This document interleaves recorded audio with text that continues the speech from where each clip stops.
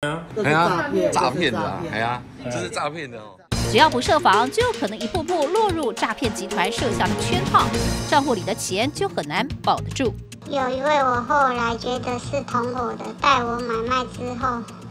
被平仓损失大概一百八十万，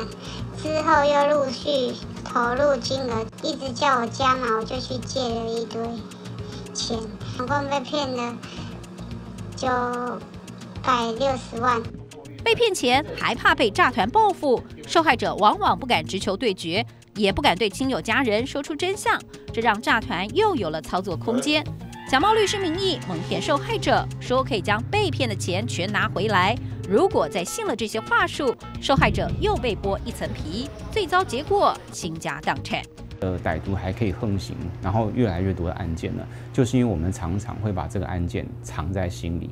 然后呢，诶，很怕别人知道说我被骗了，那我怎么那么丢脸？我怎么那么笨？如果我们用更宽啊宽容的心去看待这样的案件，告诉他说，哎，真的不用不用担心，我们要互相的帮忙，犯错并不可耻。我们鼓励曾经这个被诈骗的呃那些人能够站出来。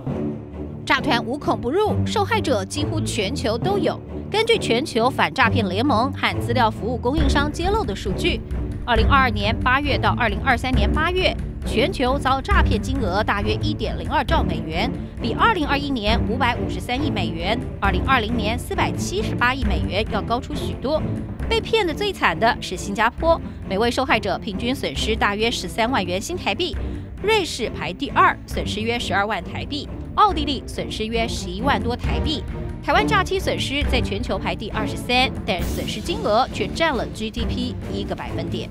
台湾的诈骗金额每一年高达两千，总共高达这几年两千亿元，占全台湾 GDP 的一个百分点，是所有已开发国家第一名，占所有已开发国家之冠。